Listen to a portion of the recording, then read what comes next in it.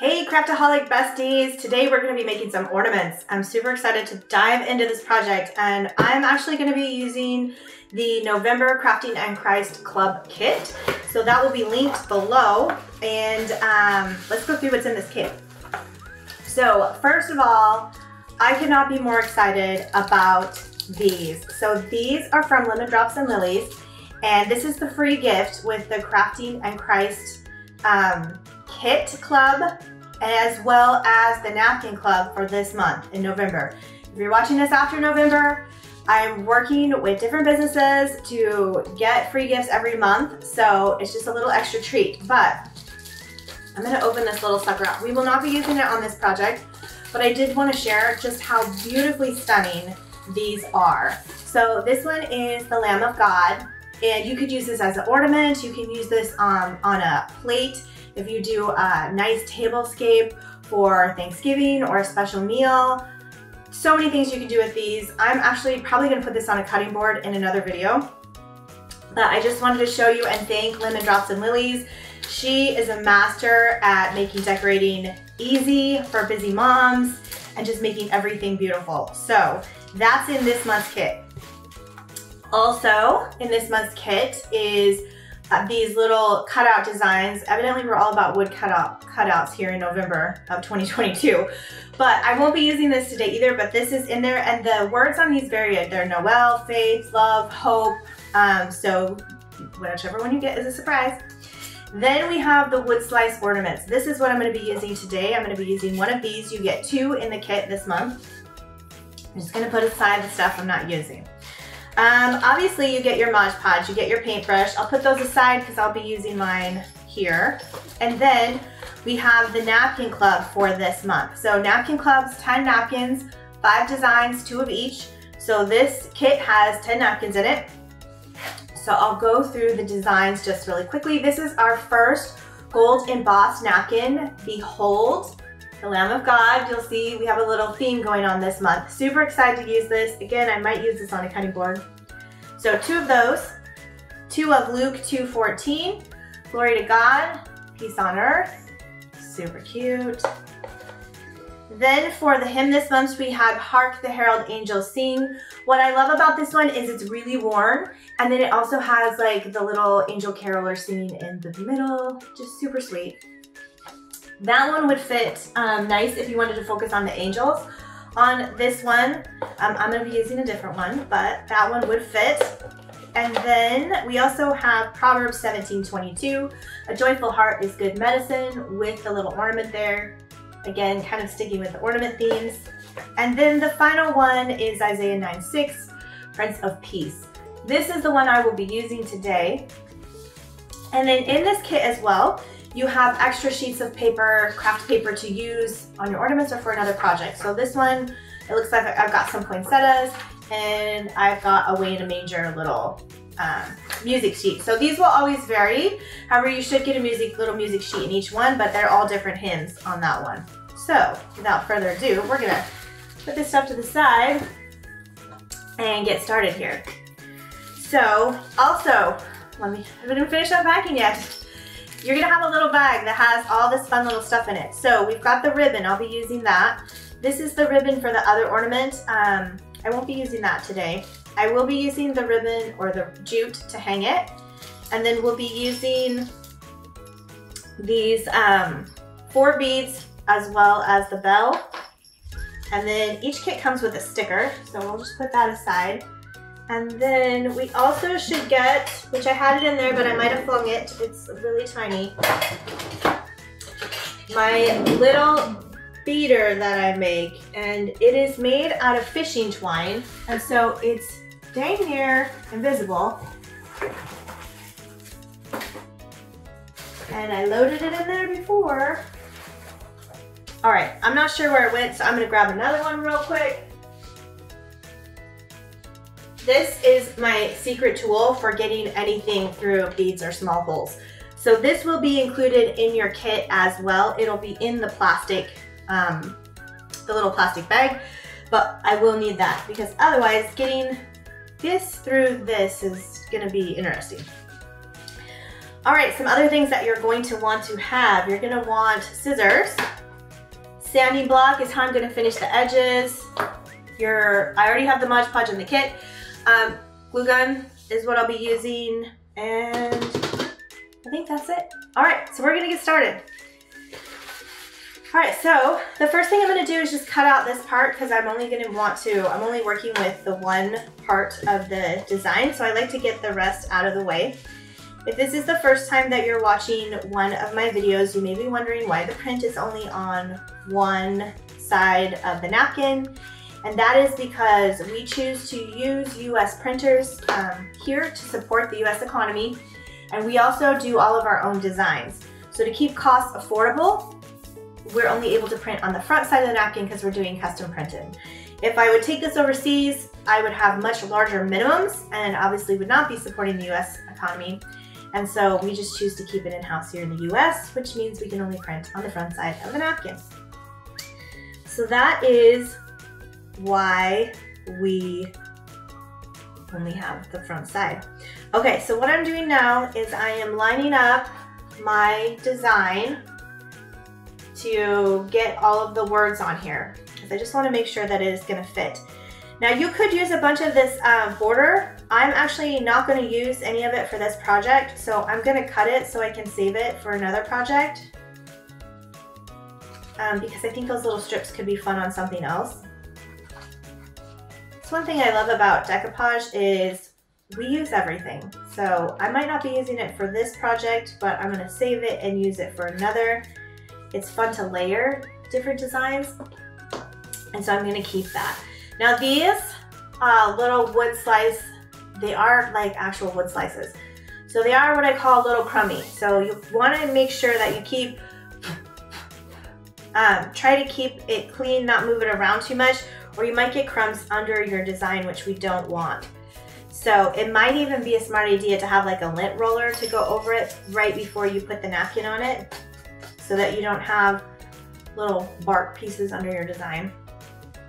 But the next thing I'm going to do is I'm just ripping a corner so it's easier for me to get the top ply of the design because these are three ply napkins, but we're only gonna be using the very um, top, very top one. And it's always a little bit tricky to get it. So I did get a ply off, but I did not get the right one. So this is still two ply. So I'm going to have to try again. And I'm just doing it on one of the bottom corners because I'm not gonna be, I only really need the center of the design. I swear, this is always like the hardest part. Just keep messing with it here. I see people do it with water and it's like so easy. All right, we're gonna try a different corner because that one's not, I'm not able to get it. I swear, this is always the hardest part. All right, I see it separated. Oh my gosh, my fan is not helping here.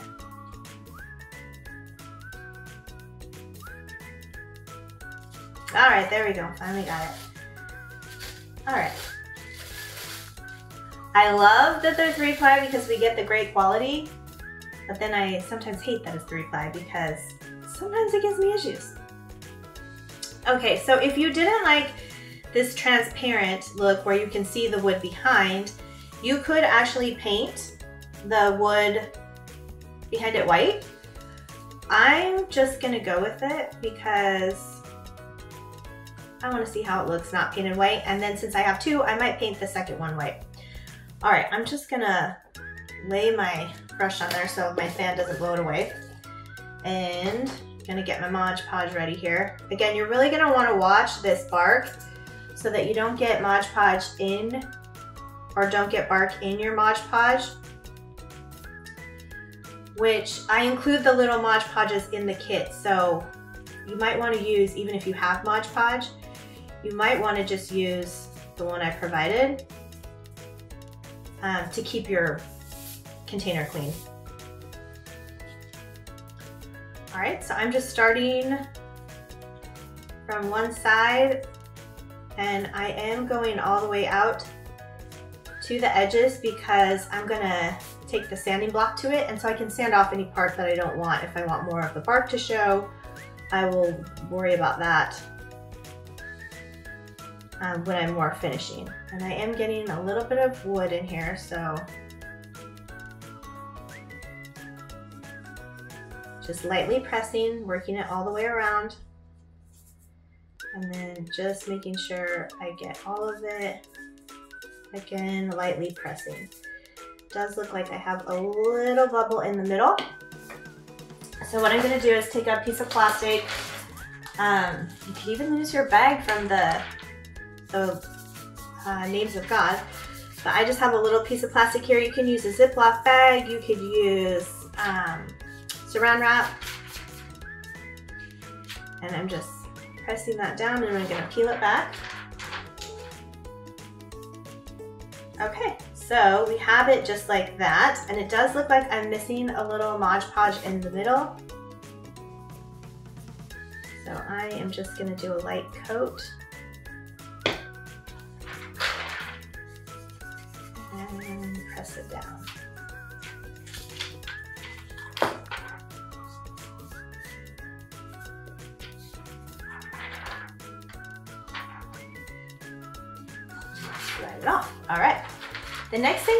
Gonna wanna do while it is still wet is poke your hole.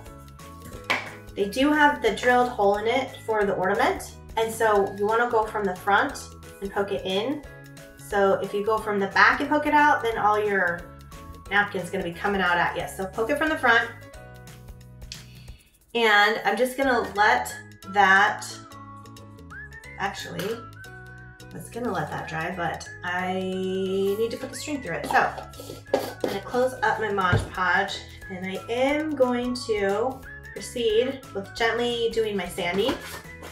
So to sand it, I'm going down and then away. I'm not going back and forth because I don't want to lift the napkin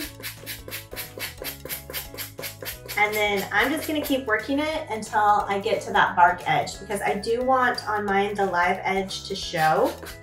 You may or may not want, I mean, it's just a design choice.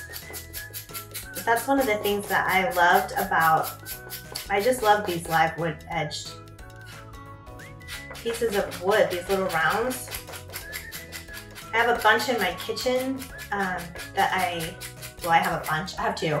I have a bunch that I put um, with my cutting board displays. So you will want to make sure wherever you're sticking your thumb when you're doing this is dry. I kind of skip, normally I would probably wait and come back like in, you know, 20 minutes or so, but for the tutorial, I kind of just have to keep going. So I'm just gonna, working my way around it.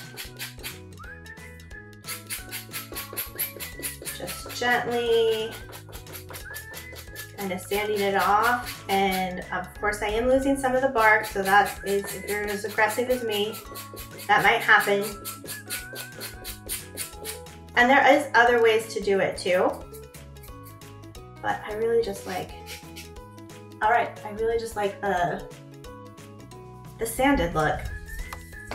So before I go any further, I am gonna clean up my little bark here, or at least move it a little bit out of the way because I, don't want bark on everything. So this is a little bit of a messier project with the live edge, um, but I think it's gonna be adorable when we're done. Okay, so the first thing I'm gonna do is I'm gonna string my loop through here. And then I think I'm gonna do the bell next. So I'm gonna put both sides through. Now the bell is probably a little bit easier to string, so you probably don't need um, the beader tool for that. We'll see. Yeah, okay, got it through. And I do want my bell on the front. And I'm gonna string the beads and then I'm gonna do a bow. So if I had um, which let me, I may grab, I'm gonna grab some red paint.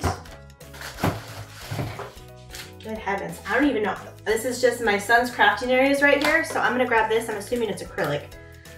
we're gonna run with it because I don't think I have a red up here. Oh, I do have a red chalk paint. Okay, just kidding, we're saved. Saved by the red chalk paint.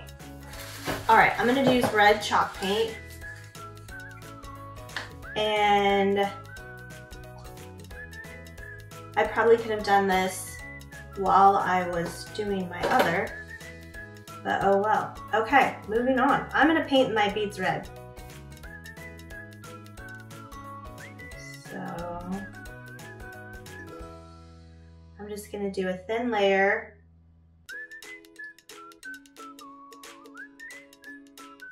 so that we dries fairly quickly on us and we can keep moving. Now obviously you could do any color. Hopefully we got all of it there. But I'm just trying to bring out the red in the Prince of Peace. And then the bow that I'm gonna be making, I'm gonna use the buffalo check that came with the kit. And so that's gonna kind of bring in some, some white and black. All right. I'm gonna, you may, if you're doing the red, there's probably an easier way to do this. But I just kind of go in and get messy. That's the way that I craft.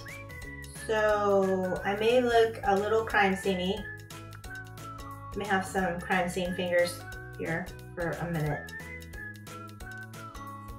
But I think it's worth it because I really want to pull the red especially since I did not paint the background, I really want to pull that red out. Now, you know what? I think I am going to leave one natural. I'm going to do three, and I tainted this one, so I'm to put it aside. But um, I'm going to leave one of the beads natural. So I'm going to do red, natural, red. Maybe I'll do red, natural, red, natural. We'll see what it looks like. Okay, so, I'm gonna cut the red out of the way.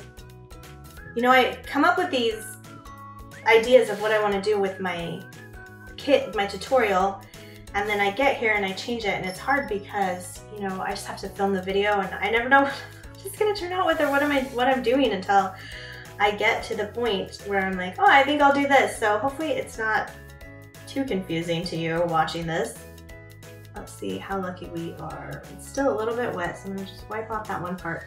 And again, this is just for the tutorial. I do have to kind of speed it along, so I'll touch up these other parts when I'm done. But I'm gonna show you how to use the speeder. So this is what I came up with myself when I had to create um, some ornaments last year and I had to string this really fat ribbon through this really little hole. And I was like, I need some kind of loop device. So I just made it myself. But um, again, it's just fishing string with a knot tied at the bottom. Nothing I can go patent or anything, but I just take the loop and I'm gonna put it around so that my, my it's around the string. And then you just take like the little pointy ends and you stick it through the bead. And then when you grab them, you might have to use a little bit of wiggle force, but you just pull it right through. And so the inside of this was a little wet so it is, uh, it painted my string a little bit, but I think it will work because I'm gonna use multiple beads. All right, so then I'm gonna do the same thing. I'm gonna put the string, I almost did it backwards, put my loop around the string, put my beader through, grab the tails, pull it through. You're probably gonna love me after this because it literally is like the best life-saving thing if you have to bead anything. Because it gets so stressful trying to stick the like fat things through little holes when you're crafting. All right, so here's my my red natural, red natural. Um, Let me see how thick this bow is gonna be. You know what, I think I'm gonna do one more because my bow is a little bit fat. So let me go grab one that I didn't ruin. I'm gonna grab one extra because I touched this one with my red hands and messed it up. All right, so You might want to check the ends of your beads too because like this one has like a funky end and then it has a really nice clean end and I want the clean end to be, because this is my last bead, the rest of them it doesn't matter, but since this is my last bead, I want the end to be the cleanest. Okay, so I'm not tying it yet because I want to add a bow and I might need to push these beads up. So you'll want to make sure that your stuff is dry before you start putting your ribbon in here. Otherwise you're gonna get red paint on your ribbon. All right, so I'm just tying it right in between that, the bell and the last bow. The bell and the last bead. Sorry about that.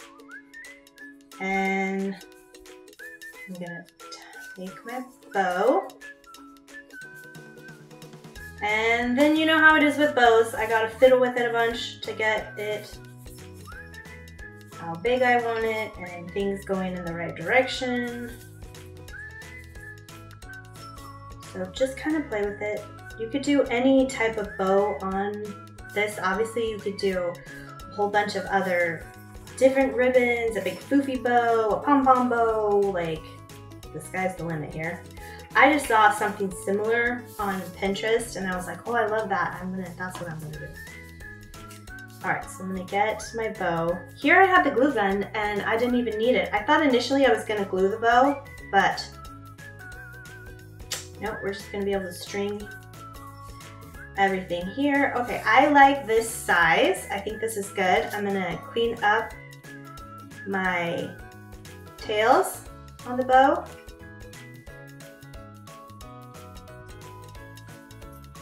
So I've got some nice tails there pretty cute. Okay, so I've got it pretty much where I want it. So I am gonna tie a knot here to keep my beads down where I want them so they don't go creeping up on me. And then you're just gonna tie your little knot at the top so that you can hang it on your tree or doorknob or wherever. And there you go, there's our little Prince of Peace ornament. So I would love to see how you do your ornaments. Obviously there's a million ways that you can do these. Um, so please make sure to share. You can, um, if you're not already in our Facebook group at the Christian Craftaholics on Facebook, uh, Christian Craftaholic Community, you can share your project in there. We'd love to have you any share any projects that you're faith-based projects or any projects that you're working on. It's a group of Christian crafters um, who just love crafting and connecting with other Christian crafters. So we'd love to see you in there. I'll put a link to that in this um, below as well. And, or you can always email them to me at support at christiancraftpaper.com. And so that is it. Until next time, happy crafting!